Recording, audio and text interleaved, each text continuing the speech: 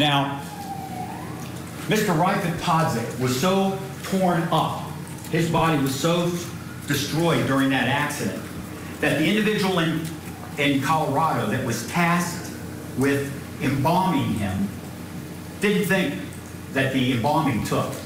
He didn't think it was going to be effective. In fact, he believed that that body had to be cremated right away or as soon as possible. Now, Mr. Podzik was a immigrant from Bosnia, and his family lived in Arizona. his family wanted to have his body shipped back to the country of Bosnia for burial. So they contacted a business out of the state of Florida that does those kinds of things. That business contacts Shawnte Hardin and has him go to Colorado to pick up the body and move it to an airport. So after he gets that call, Shawnte Hardin embarks upon his journey from Columbus, Ohio to Colorado Springs, Colorado, to pick up the body. Now, when he gets there, Shawnte Hardin knows the condition of the body. He knows that the body was pretty much tore up in that accident. He knows that the embalming probably didn't take, that it wasn't going to be effective. And he knew that the recommendation was that the body be cremated as soon as it could be. Now he knows that because the person who did the embalming told him that when he got there. Now, the testimony and evidence in this case is also going to disclose that the defendant had communications with the family of Mr. Podzik. He spoke to Mr. Podzik's wife. Now, Mrs. Podzik is also a Bosnian national. She speaks broken English. She has difficulty with English. But she has a friend who also was on calls, who also spoke to the defendant, Mr. Edhem Mujic, Eddie Mujic. And it was made clear to the defendant that the body was to be moved from Colorado Springs to the Denver airport to be shipped out of Denver. That's what the family was told by the defendant would happen. That's what the family was told. Several days later, the body of Mr. Rifat Podzik shows up in a former hair and nail salon in Columbus, Ohio. Family had no idea. Now, when that officer from the Columbus Police Department went into that building, when, he, when the door first opened, as the court will note, that to the left of the blue blanket that covers Mr. Podzik on that gurney, there's a wooden box. Now that wooden box, a rectangular wooden box, is covered by a piece of cardboard. Now when that cardboard is removed, what's inside that box appears to be a body that's covered in plastic. When that plastic is removed, what's disclosed is the body of Rhonda Renee Cooper, a woman who died on August 23rd of 2021. More than a month, more than a month before the Columbus police officer received that call a body had been taken into that building and found Mr. Podzik and Rhonda Renee Cooper.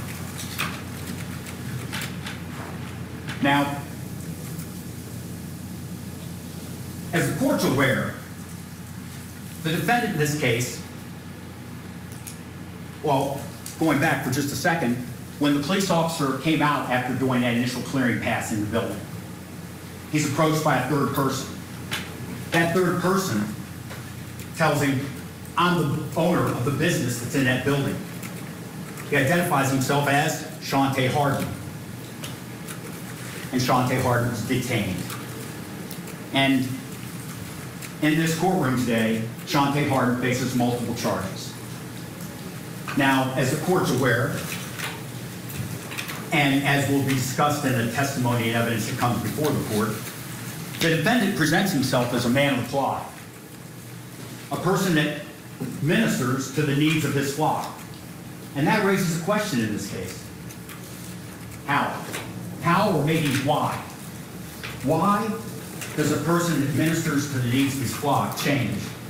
change into a person that fleeces that very flock? Now, the answer to that question is going to be disclosed in large part by the charges that he faces in this case. For instance, corrupt activity.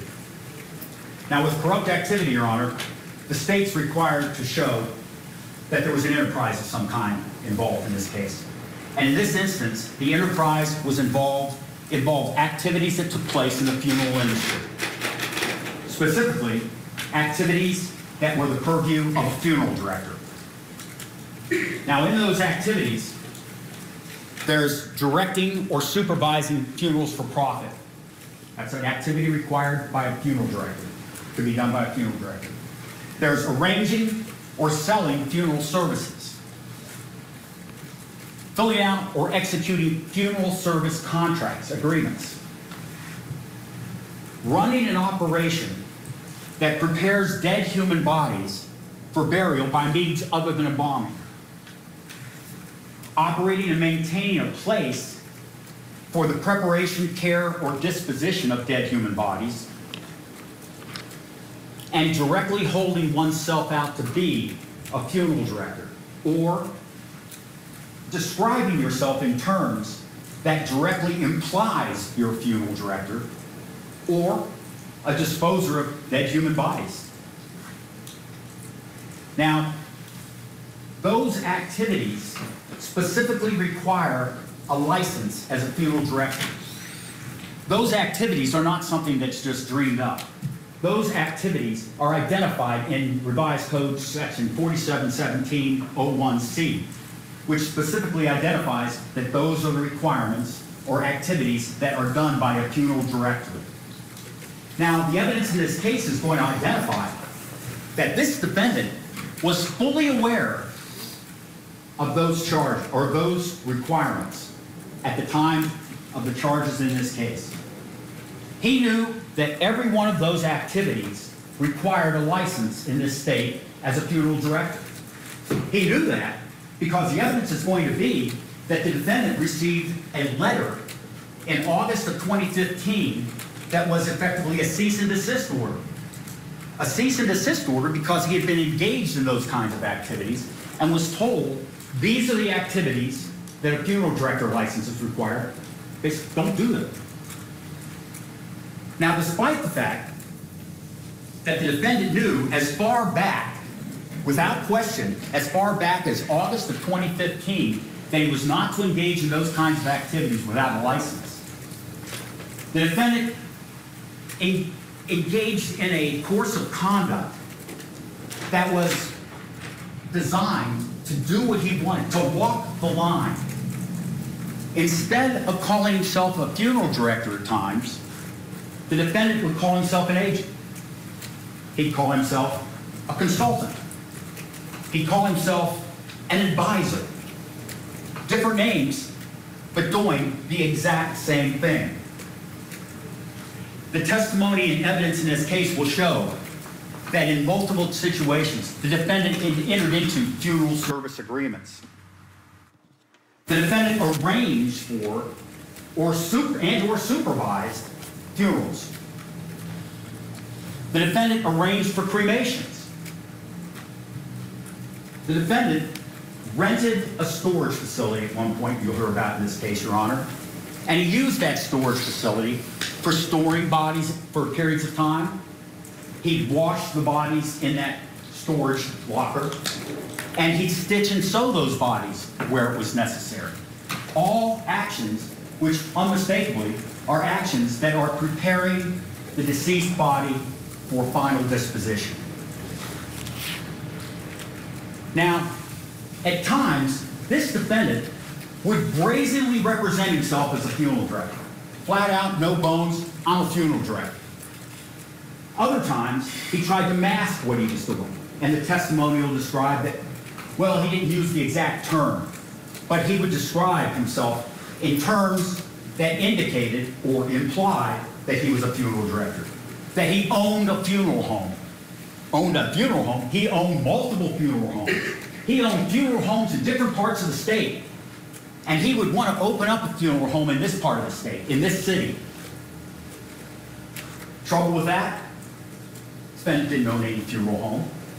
Funeral homes in this state are required to be licensed, and they're licensed for a specific reason. And as the testimony is going to disclose, there has to be inspections of those funeral homes. If you have a licensed funeral home, even a licensed funeral home can't open up a branch office. The licensed funeral home, the testimony will describe, has to get a license for a branch office. And that's because those places have to be inspected. They have to be inspected to ensure that they meet certain guidelines. The most simple would be non-porous floors. The object or the, the reason for a non-porous floor is fairly obvious when one thinks about why you would need that when you're dealing with a dead human body and leakage from that body and the possibilities of that getting into a floor that is porous. So the requirements are that you have to have a license for any kind of branch that would be for a funeral home. You can't just go out and use somebody's garage. You can't just go out and use a storage locker and do things like this and claim it's a funeral home or it's a branch of a funeral home. Yet, the testimony and evidence in this case is going to make it clear that this defendant had no problem calling any location he wanted to call a funeral home a funeral home. The defendant, and, and by making that representation, it's clear he was implying that he was a funeral director, the owner and operator of multiple funeral homes. Now, he also identified the court will see in an advertisement, at least one, where he identified that he had attended mortuary school, which is a requirement to become a funeral director. That's absolutely true. He did attend the Pittsburgh School of Mortuary Science. But I think one of the key requirements that's going to be missing is that he ever completed the school, that he ever graduated from that. And when you see that advertisement where he identifies, I attended the mortuary school, it's not going to say anything about completing it. It's not going to say anything about the fact that he wasn't exactly licensed for that school, implying that he had the qualifications necessary to do the job of a funeral director. Exactly what the statute pro prohibits him doing.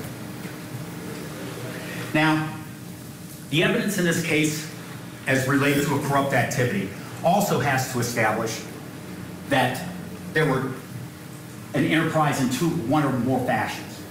One fashion is that there was a business entity involved in this. And this, as Your Honor will come to find out, the defendant used multiple names, multiple business type names. Celebration of Life Memorial Chapels. Celebration of Life Memorial Chapels Home Funeral Service LLC. Shawnte Devon Hardin Support Services LLC. Shawnte Devon Hardin Mortuary Support Services LLC. Hussein Funeral Directors LLC. All different names, but all names related to doing the exact same type of activity or the same enterprise. Activities that took place in the funeral service industry. Now, it will also disclose an enterprise through an association of two or more people. Now, in this case, there's going to be testimony and evidence that indicates that people worked with and for the defendant in the pursuit of these activities. Now, in some instances, those individuals, you know, they pretty much knew what they were doing was not right. They pretty much, they, they knew that something wasn't right with what was going on. But they were hired to do it. They were working for him. They did what they were told to do. There were also those people who were just doing what their job was normally. Maybe transporting bodies, maybe whatever the, whatever the situation would be. But they were tasks that were necessary for this defendant to achieve his end goal in that enterprise. Those people, under the statute, would be considered innocents, necessary participants in the criminal enterprise, but not charged because they were just doing their job and did not really know that what they were doing was not proper. Because their job, when they do it the way it's supposed to be is legal. But they would be considered innocents. So that would be another aspect to the enterprise.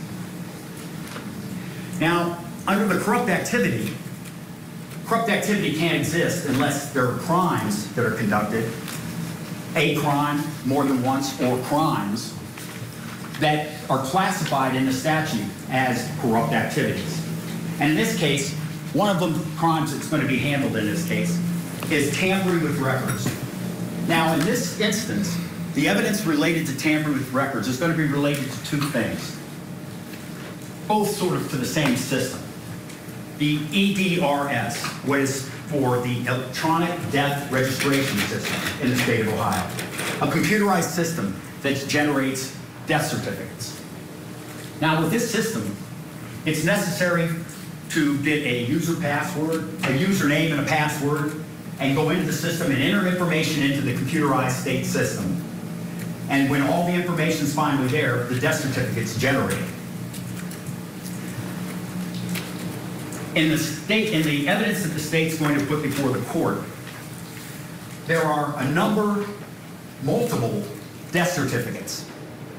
These death certificates from 2019 and 2020 specifically identify that subjects of the death certificates, the decedents, well, the type of disposition of their body, of their mortal remains, was cremation. Now, the problem with that is, and the reason that discloses the tampering, the falsification of information within that death certificate or in the system, is that the individual who's identified as the funeral director with his name and his license number and the funeral home that's identified. All right, we need to uh, slip a break in here. Prosecutor delivering an opening statement to the judge, who's also the jury in this bench trial. We'll get you back into the courtroom after this. Stay with us.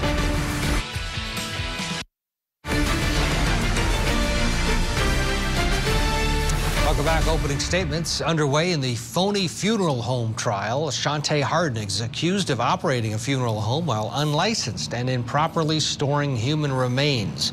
The Akron, Ohio minister claims he was simply storing the remains for a former funeral director, buddy his name, Robert Tate.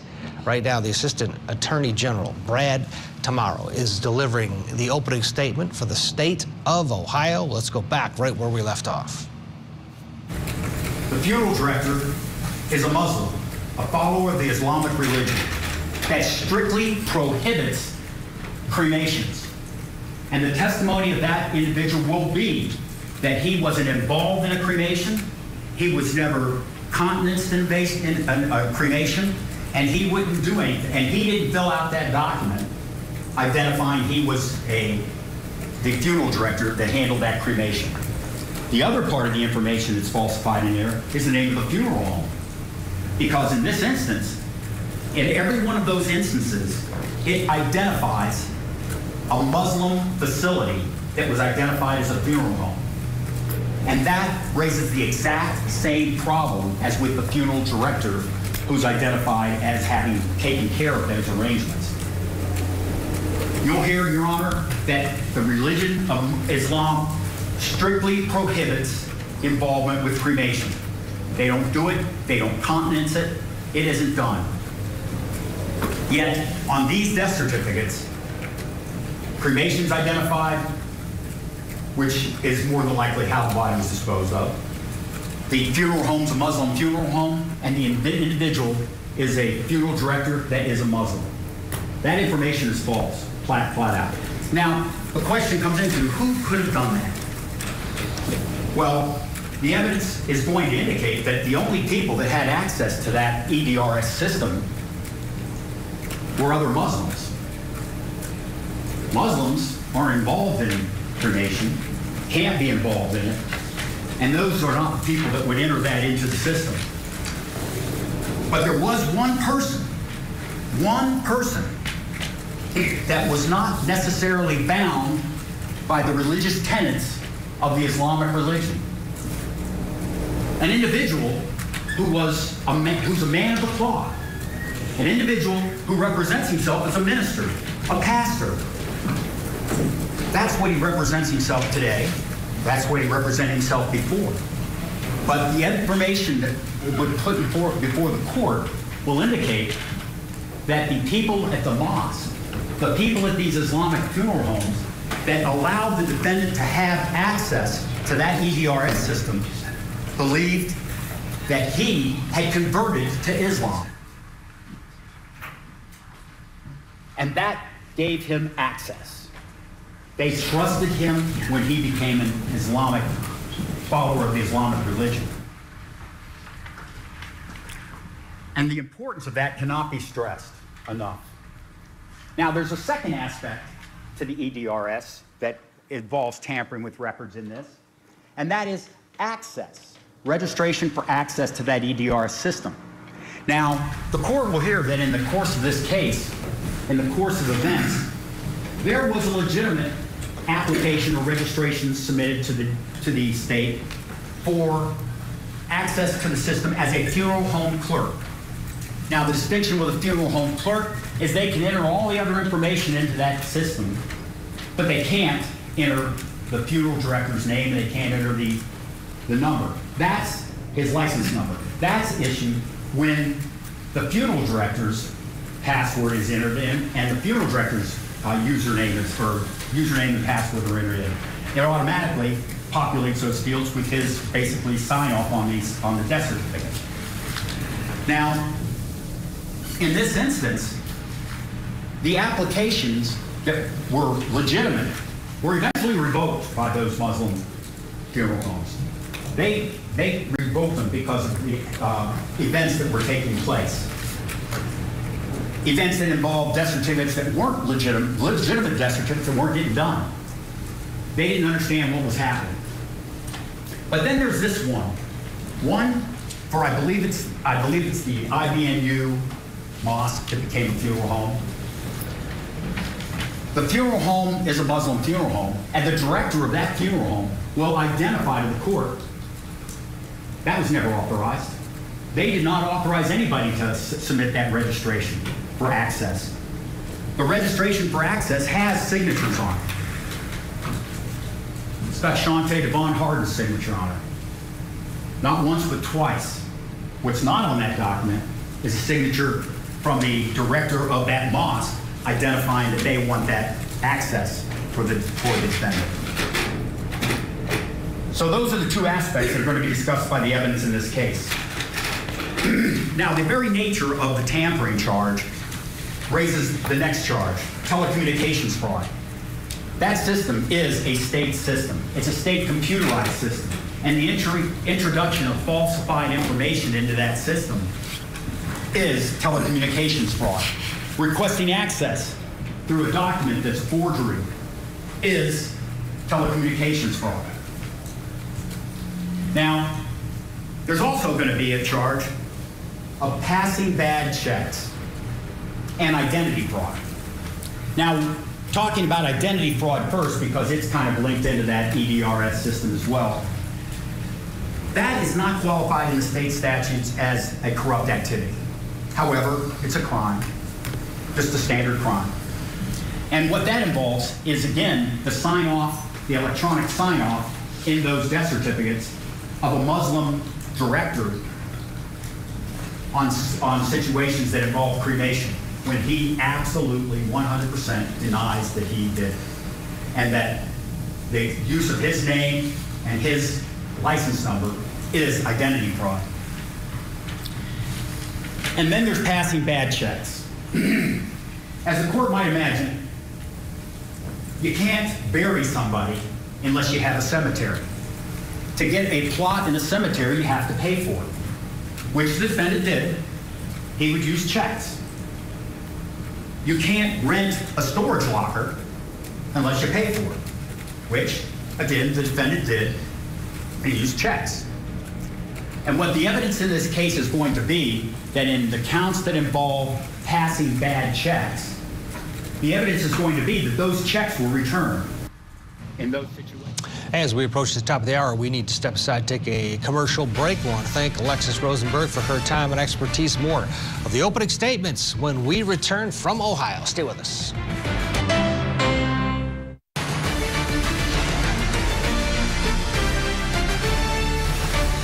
Welcome back to Court TV Live. I'm Ted Rollins. Glad to have you along with us. On this Monday, we are watching opening statements in the fake funeral home trial. Shawnte Hardin is accused of operating an unlicensed funeral business. This is a bench trial after he decided, the defendant decided last week, that he didn't want a jury to decide his fate. He just wanted the judge to make the determination, and that is what is taking place. He faces multiple charges ranging from abuse of a corpse to intimidation. Let's go back into the courtroom. Opening statements from the prosecution right where we left off. In those situations, they were returned with unable to locate the account. Doesn't exist. They were returned with closed account. Yet the check's written on it. They were returned with insufficient funds. And as we said here today, Your Honor, those checks remain unpaid, unresolved. Bad checks. Now, there's also charges of theft and unauthorized use of motor vehicle. Now, in those situations, Your Honor, again, in order to operate his business, in order to run his funeral director business, as well as a transportation business, he had to rent vehicles at times. He had to rent vans. He had rent SUVs. In situations that will be discussed in this court during this trial, rental vehicles were not returned. They were extended. The companies that were the rental companies never got paid for to the tune of $11,000, over $11,000. And to this day, that sets out there as having never been resolved. Now, when those vehicles are extended or those vehicles are reported as stolen and then observed later on, that is the unauthorized use of the vehicles. At least one aspect of that. Now, there's a, there's a second aspect to the unauthorized use of a vehicle, to theft, and that goes to the logical thing that happens when the actual rental company, such as Penske or U-Haul, when they decide, well, gee, the guy's not paying his bills, I'm not going to rent any more vehicles to him. A logical decision. But now the defendant's in a, in a bind. What's he going to do? Well, what the evidence identifies is that the defendant preyed upon the goodwill of somebody he knew. He got that person to actually rent vehicles for him. He would then turn around, do whatever he was going to do with the vehicle, collect his money, and then he would pay that person in cash. He would pay that person in cash until he didn't. And when he didn't, the person wanted the vehicle turned in. And when he didn't, the person wanted the vehicle turned in. And when he didn't, the person finally took it into their own hands, got hold of the vehicle, and turned it in. However, the bill had been run up.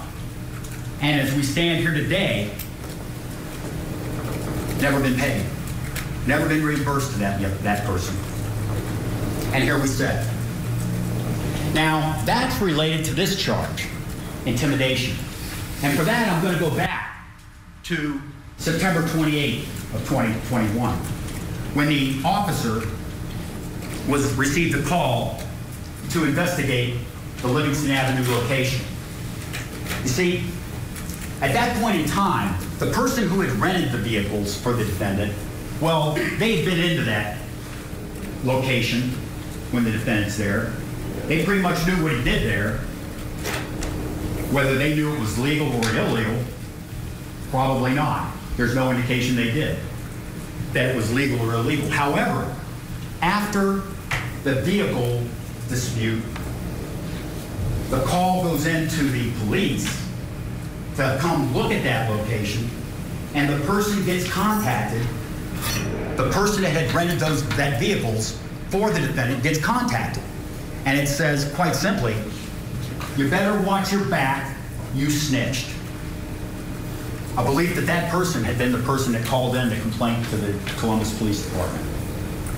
Wrong, But nonetheless, that was the belief at the time. And that is nothing more than intimidation. The evidence is also going to involve criminal tools. Now, in this instance, the criminal tools are something that was necessary for the defendant to engage in his activities in the funeral service industry, transporting bodies. Now, it's not illegal to transport bodies.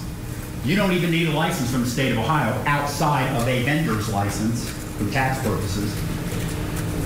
However, storage of materials such as the cremated remains of individuals that had their bodies were being disposed of in those vehicles for periods of time, driving around the state with those uh, remains, that is not permissible. Criminal tools. Now, these vehicles that we're talking about were found during a search warrant at a Muslim cemetery.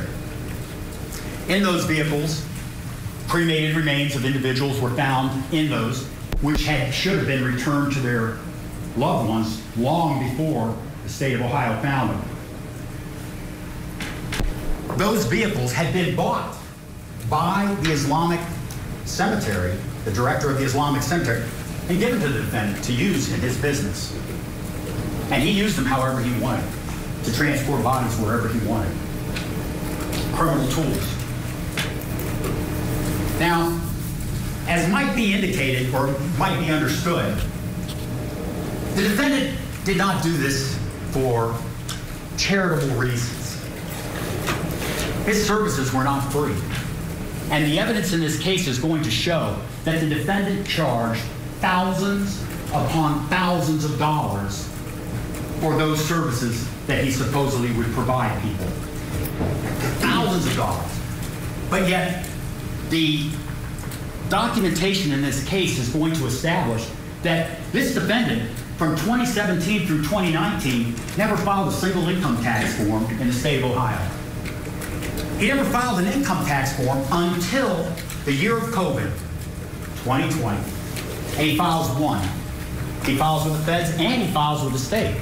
And in that one, the defendant who has never filed a single tax return before that identifies that he made gross receipts of $102,000 in that year in 2020. Yet in 2019, no tax return, and 2018, no tax return, and even 2017, no tax return. Now, there's an additional charge called abuse of a corpse. Now, with abuse of a corpse, there's no listing anywhere that says all these activities are, that's abusing a corpse.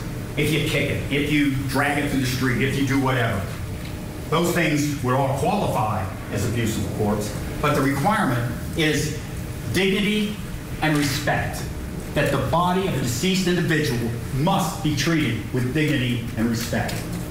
And in this case, Your Honor, the evidence is going to show you that in these instances that the state will talk about, that dignity and respect was lacking. That it was lacking to such a degree, it constitutes abuse of the corpse.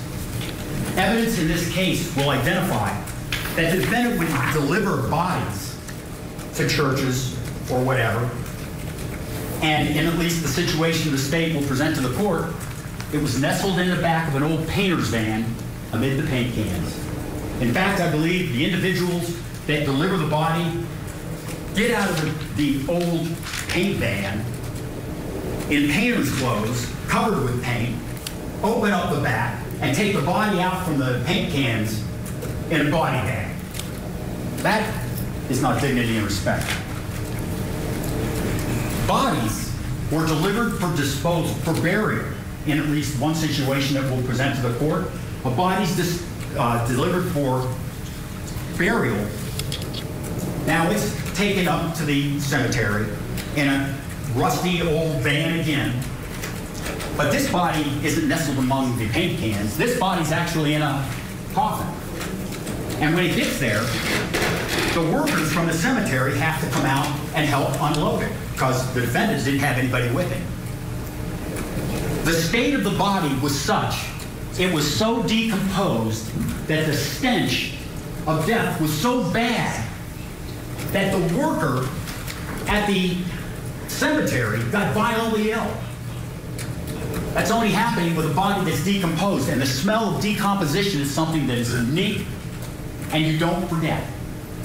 And in this instance, it would only exist to that extent if that body was decomposed. It's also, there's going to be evidence in this case that bodies were embalmed. And I think for purposes of this discussion, the most simple is to point to the body of Rhonda Renee Cooper. There's no indication she wasn't embalmed. In fact, state will readily say she's been embalmed.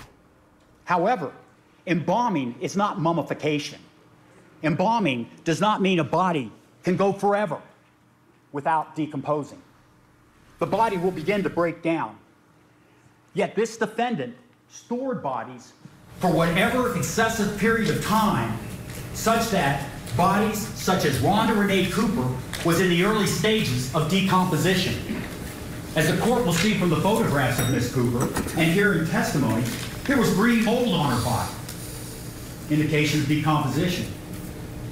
They're going to hear, you're going to hear that there was slippage, skin slippage, indication of decomposition. I believe there was an odor, not strong at that point, but there was an odor, indication of decomposition. There was fluids leaking from the body, as well as leaking from the body of Mr. Podzik. And from the photograph of Mr. Podzik and the testimony, it'll be clear again. Green mold. The bodies were decomposing. And despite the fact that one had been embalmed that supposedly worked, the other one in a very questionable embalming, the defendant had those bodies in the former hair and nail salon. That, Your Honor, is not treating a body with dignity and respect. Ms. Cooper had been around, had passed away over a month before her body was located. In fact, I believe the testimony in this case is going to be that the defendant was misleading the family, telling them that her body had already been cremated. And there she was, lying in a wooden box in the hair and nail salon in Columbus, Ohio. Not dignity and respect. There will be testimony that this defendant, because he doesn't have necessarily the facilities to do what he wants to do, he would drive bodies all over the place. He would take a body from Columbus back to Akron. The next day, drive it back down to Columbus. The next day, take it back to Akron. Not with the family's knowledge or permission, not with their understanding, but because he didn't have a place where he could put it. He would take body from Columbus to Akron to Michigan for cremation. Not treating a body with dignity and respect, driving it all over the state of Ohio and beyond.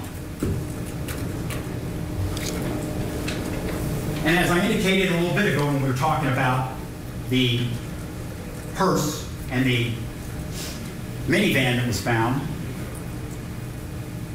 the evidence in this case is going to indicate that this defendant, after a person was cremated, he would return the cremated remains for weeks, if not months afterwards, despite the fact family members would call him up and say, Where are my loved one's cremated remains? Oh, yeah, I'll get them to you. Oh, yeah, I'm going to get them to you. Oh, yeah, I'm going to get them to you.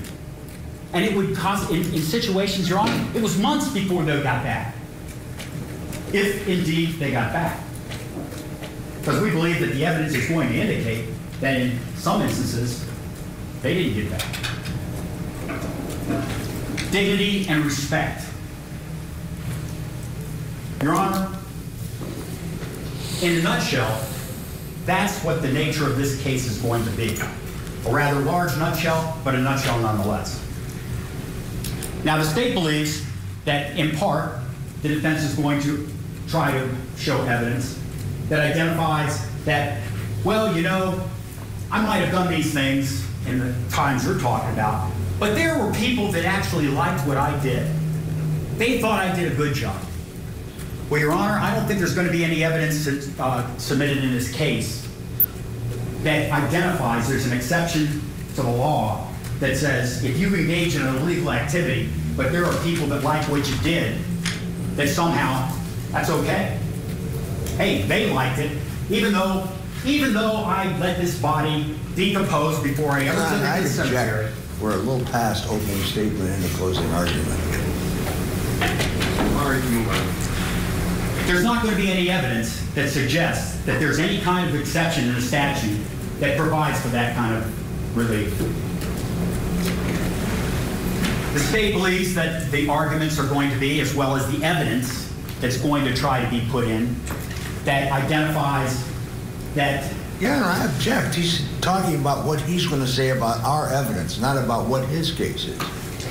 I'm talking about what I expect the evidence to be in this case, Your Honor. Go ahead, you may. And the evidence that should be, or is going to be presented by the defense, the state believes, will try to identify that somehow he was providing a service that was needed. Now, again, the state believes there will be no evidence that identifies that even if a service is needed, if it's an illegal service or it's not licensed properly, that doesn't make it legal and it doesn't make it proper. And the state does not believe there's going to be any exception pointed to at any point in time in the evidence that identifies that. Your Honor, the evidence in this case will demonstrate the various counts that are in the state's indictment. And that evidence will prove beyond a reasonable doubt that the defendant is guilty of the charges that we lodged in this case. Thank you.